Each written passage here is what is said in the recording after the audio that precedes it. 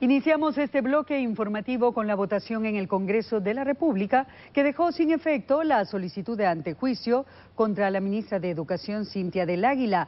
98 parlamentarios votaron a favor de que la funcionaria continúe gozando de inmunidad. Con 98 votos a favor, los parlamentarios del Congreso de la República rechazaron la solicitud de antejuicio contra la ministra de Educación, Cintia del Águila, promovida por el diputado Amílcar Pop de la Comisión de Transparencia. El diputado la acusaba de incumplimiento de deberes por no presentar informes de su gestión a la Comisión de Probidad, Transparencia y Finanzas en 18 meses al frente de la cartera educativa. Por otra parte, los diputados finalmente decidieron agilizar la agenda parlamentaria que estaba suspendida desde enero a la fecha por la interpelación del ministro de Cultura y Deportes, Carlos Batzín, aprobando una moción privilegiada para dejar a un lado dicho interrogatorio legislativo de parte de la bancada líder. Asimismo, se conocerán 50 iniciativas de ley de las 170 que están engavetadas. Para este jueves, el presidente del Congreso, Pedro Muadi, citó nuevamente a una sesión parlamentaria y se espera que continúen los avances. Ahora hablamos acerca de los desastres que provoca la fuerza de la naturaleza y cómo pueden convertirse estos en un problema social.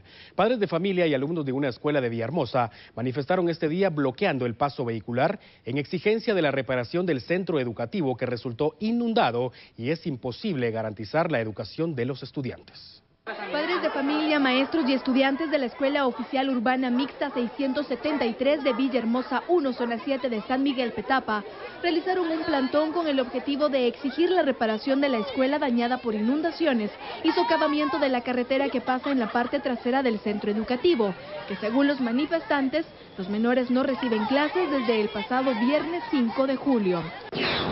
El problema es la, la escuela, que ellos no han recibido clases desde el viernes 5 de julio, que fue esa, imagínense, ya vamos de más de un mes y no se ha resuelto absolutamente nada.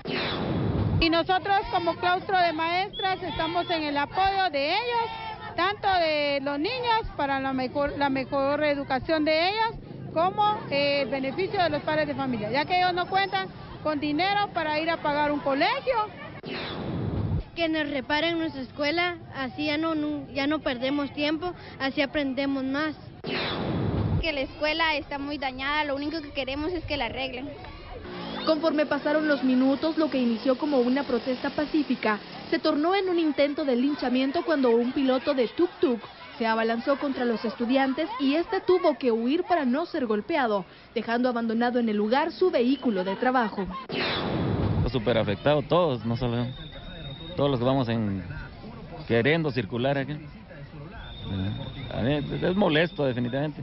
Esa es una ignorancia querer arreglarlo de esa manera.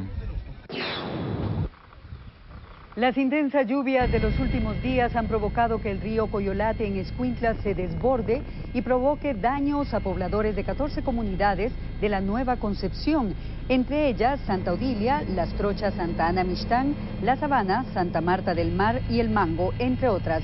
Más de 15 mil pobladores han sido afectados y las intensas lluvias han repercutido además en pérdidas importantes en la agricultura.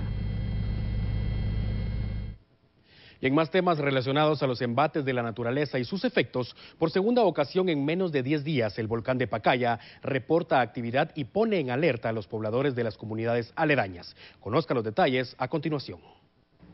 El día de ayer por la noche eh, se dio un incremento en la actividad sísmica, principalmente por tremor o vibración interna que nos indica que hay ascenso de magma y debido a eso se emitió un boletín especial. La alerta incluye mantener la atención en la actividad volcánica que podría aumentar en las próximas horas y atender el llamado de emergencia que pueda realizarse de manera repentina. De igual manera, se espera que los habitantes de las comunidades aledañas al coloso no pierdan la atención de lo que ocurre en el entorno en caso sea necesario evacuarlos. Los expertos aseguran que si continúa la actividad, el volcán podría expulsar flujos de lava hacia el oeste del cráter, pero como es habitual en este tipo de casos, solo se trata de pronósticos y estos no pueden ser 100% certeros. Mientras tanto, los distintos cuerpos de socorro del país Informaron que también están a la expectativa del comportamiento del volcán Pacaya y preparan un plan de contingencia para atender las emergencias que puedan registrarse. La última vez que el Pacaya provocó caos en comunidades aledañas y la capital fue en mayo de 2010. La violenta erupción arrasó con todo a su paso y dejó secuelas de destrucción en varias comunidades.